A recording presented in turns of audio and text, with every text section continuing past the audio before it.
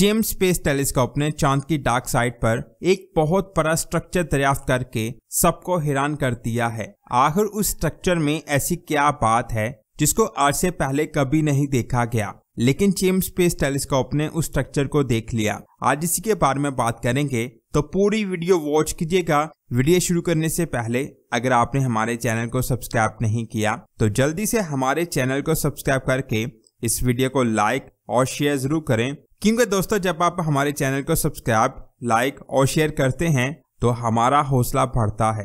James space telescope ने चाँद की डार्क साइड पर एक बहुत बड़ा स्ट्रक्चर फाइंड किया है। असल में ये स्ट्रक्चर चाँद की क्रस्ट है। साइंसदान का कहना है कि चाँद की फार साइड की क्रस्ट सामने वाली साइड की क्रस्ट से ज़्यादा मज़बूत है। कहा जाता है कि जब अरबों साल पहले ज़मीन और चाँद पर एस्ट्रॉइड की बारिश हुई थी तो सामने वाली साइड की क्रस्ट फट गई थी। जिससे सामने वाली साइड के अंदर का लावा बाहर आकर सतह पर फैल गया, जिससे चाँद की सतह जल गई और सामने वाली साइड की ज़मीन फ्लैट हो गई। अगर आप चाँद की सामने वाली साइड को देखें तो इस पर आपको ये ब्लैक कलर का निशान दिखाई दे रहा होगा। असल में ये चाँद की जली हुई सतह है, जिसे लूनर मारिया कहते हैं। लेकिन चाँद की डार्क साइड की क्रस्ट नहीं फटी। लेकिन जब एस्ट्रोड की बारिश चाँद की डार्क साइड पर हुई तो चाँद की डार्क साइड की क्रस्ट नहीं फटी। जिसकी वजह से चाँद की डार्क साइड फ्लैट नहीं है, बल्कि वहाँ बहुत बड़े बड़े क्रेटर मौजूद हैं, जो इस बात का सबूत देते हैं कि चाँद की डार्क साइड नहीं फटी और चाँद की डार्क साइड सामने वाली साइड से ज़्यादा मज़बूत है। साइंटिस्ट का कहना है कि चाँद की डार्क साइड सामने वाली साइड से इसलिए भी मज़बूत है क्योंकि जब चाँद बना था, तब एक नहीं, बल्कि दो चाँद बने थे और दूसरा चाँद बैक साइड पर जाकर मर्च हो गया, जिसकी वजह से डार्क साइड सामने वाली साइड से ज़्यादा मज़बूत है। और स्ट्रॉट की टक्कर से सामने वाली साइड पर क्रैक आ गया, जबकि डार्क साइड पर क्रैक नहीं आया। ये बात भी मैं आपको बता दूँ कि आप वसल्लम ने चाँद की तरफ़ इशारा किया और अल्लाह के हुक्म से चाँद दो हिस्सों में तकसीम हो गया और चाँद पर क्रैक्स की पिक्स भी मौजूद है। जिनको आप अपनी स्क्रीन पर देख सकते हैं, लेकिन इन क्रैक्स की वजह साइंसदान कुछ और ही बताते हैं। लेकिन हकीकत में, जब आपने चाँद की तरफ़ इशारा किया तो अल्लाह के हुक्म से चाँद दो हिस्सों में तकसीम हो गया था। जेम्स स्पेस टेलीस्कोप ने चाँद पर जो डिस्कवरी की है, इस डिस्कवरी के तीन हफ़्ते पहले भी साइंसदानों को चाँद पर हाथ मिले और ये हाथ स्टील से बने हुए थे, जो देखने में इंसानी हाथ जैसे लग रहे थे। इन हाथों को पहली बार 1960 में भी देखा गया था। उस वक्त लोगों को लगा कि शायद ये एलियन रिपोर्ट के हाथ हों, लेकिन किसी को नहीं पता कि ये हाथ किसके हैं और ये चाँद पर कहाँ से आए। ये भी हो सकता है कि ये एक एल्यूजन हो, लेकिन अभी इसके बारे में किसी को नहीं पता। साइंसदान कई चीज़ों से चाँद की स्टडी कर रहे हैं जिनमें स्पेस मिशन से, ज़मीन पर लगे टेलीस्कोप से और चेम स्पेस टेलीस्कोप से। लेकिन चाँद को सबसे ज़्यादा डिटेल से स्टडी चेम स्पेस टेलीस्कोप से किया जा रहा है। इसने 2022 में चाँद की डार्क साइड की बहुत डिटेल तस्वीरों को कैप्चर किया, क्योंकि इसके अंदर नियर इंफ्रारेड कैमरा और मिड इंफ्रारेड कैमरा लगा हुआ है। इन दोनों कैमरों से किसी भी चीज़ की डिटेल तस्वीर खींची जा सकती है। चेम की तस्वीर में हम डार्क साइड पर बहुत ज़्यादा क्रेटर्स को देख सकते हैं। जबकि चाँद की सामने वाली साइड बिल्कुल फ्लैट है। इसके बाद 2023 में चेम स्पेस टेलीस्कोप ने चाँद की डार्क साइड पर एक मटेरियल को फाइंड किया। ये ऐसा ऑर्गेनिक मिनरल है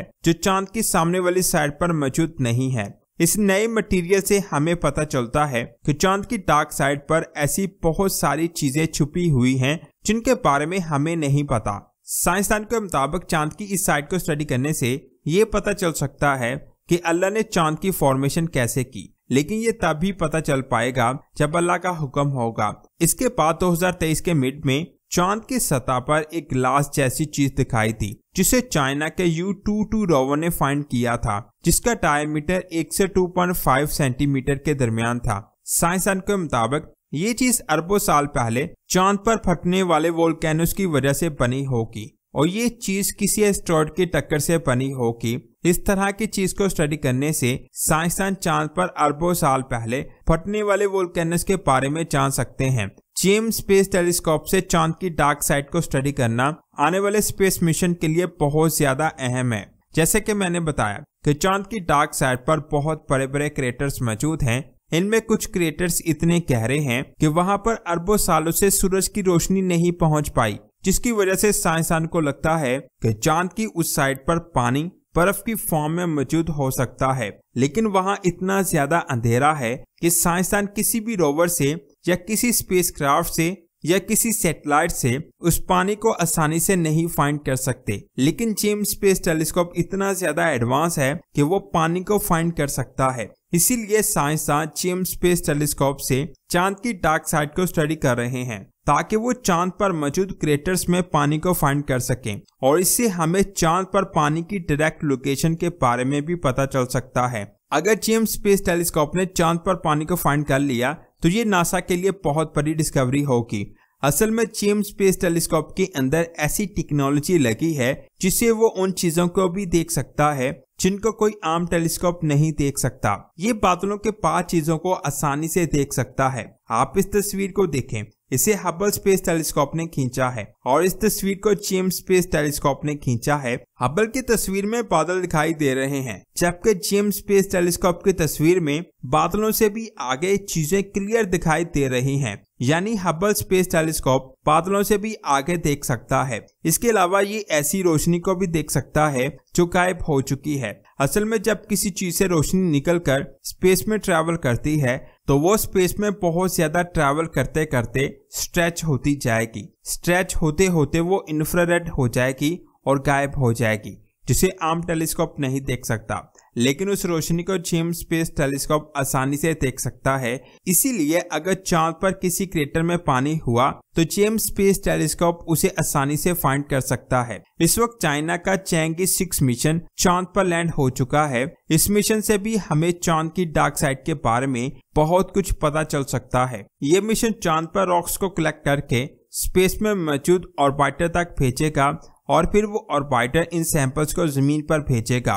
और ऐसा पहली बार होगा जब चाँद की डार्क साइड की मिट्टी को स्टडी किया जाएगा और उससे साइंसदानों को चाँद की डार्क साइड के बारे में बहुत कुछ पता चल जाएगा। और ये भी पता चल जाएगा कि क्या चाँद की डार्क साइड पर पानी के एलिमेंट मौजूद हैं। या नहीं। इसके अलावा पाकिस्तानी सैटेलाइट को भी चाँद के ऑर्बिट में भेजा गया था। लेकिन अभी तक उसने सिर्फ़ कुछ ही तस्वीरों को जारी किया है। उसके बारे में न्यू अपडेट्स नहीं आ रही। हम काफ़ी दिनों से इसकी अपडेट को देख रहे हैं, लेकिन इसके रिलेटेड हमें कोई अपडेट नहीं मिल रही। स्टार्टिंग में इसने कुछ तस्वीरों को भेजा था, जिनको मैं एक्सप्लेन कर चुका हूँ। चाँद हमारा नेचुरल सैटेलाइट है। इसकी वजह से हमारी ज़मीन एक स्टेबल रफ्तार से अपने एक्सिस पर घूम रही है, जिसकी वजह से हमारी ज़मीन पर बारह घंटों का दिन और बारह घंटों की रात होती है। और इसी चाँद की वजह से हमारी ज़मीन पर मुख्तलि मौसम बनते हैं और इसी की वजह से समुन्दर में लहरें एक स्टेबल रफ्तार से चलती हैं। इसीलिए इसके बारे में स्टडी करना